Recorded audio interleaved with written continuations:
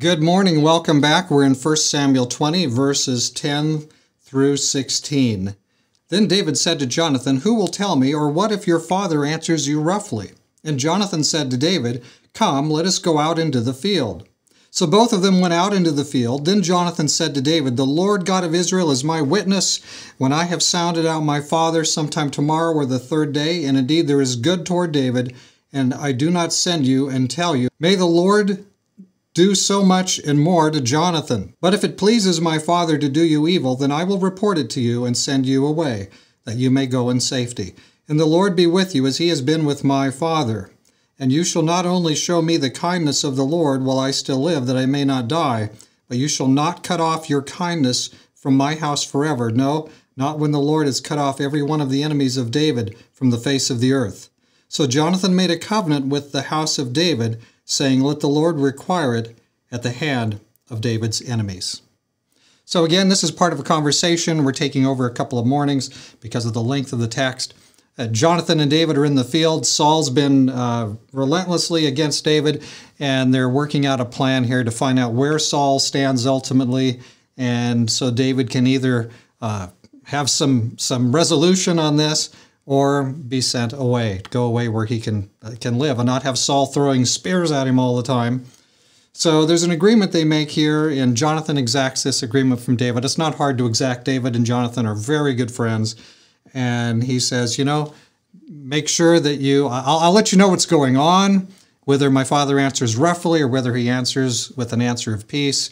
But I'll tell you what he says to David: promise me that you will not harm my, you know, my descendants and uh, David is glad to do that. So we'll we'll carry on and get to the end of this here uh, tomorrow morning. But you know what? This is a beautiful friendship. Two people they want to be right with God. They want to be right with each other. There's nothing weird, by the way, about this friendship, although some might say it. Uh, this is just just two people who love the Lord and they respect each other. They're they're fierce warriors of God in a time when it was needful for there to be uh, very fierce warriors for God. And so what he says is, uh, no, of course he won't cut him off. There's a covenant, a covenant with the house of David. I appreciate Jonathan here making this agreement, this covenant, strengthening this covenant with David.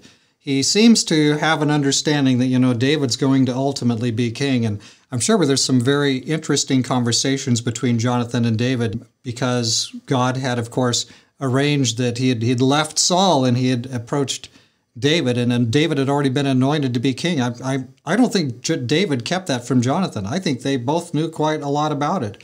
So it's interesting to see Jonathan is not like, hey, you know, but I should be king. You know, I'm the heir apparent. Uh, Jonathan doesn't worry about that.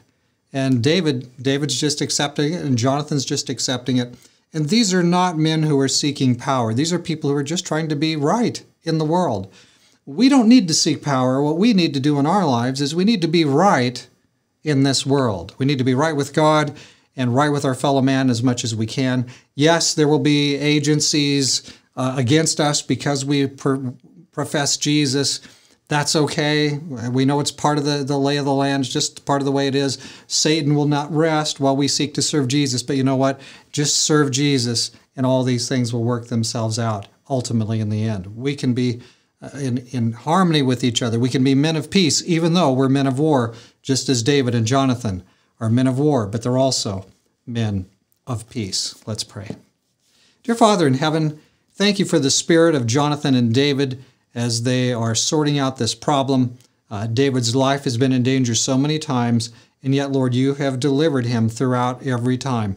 Now, Lord, we, we just look at this uh, connection they have and we want that with our friends also, uh, close friendships here on earth in a world that's filled with loneliness and disconnection and distrust.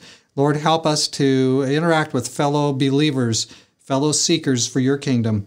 And may we strengthen each other as Jonathan and David strengthen each other. May we be your warriors and be strengthened by your other warriors. And yet may we also be your men of peace and be strengthened also by your men of peace so that our hearts are shaped more like Jesus. We ask it in Jesus' name.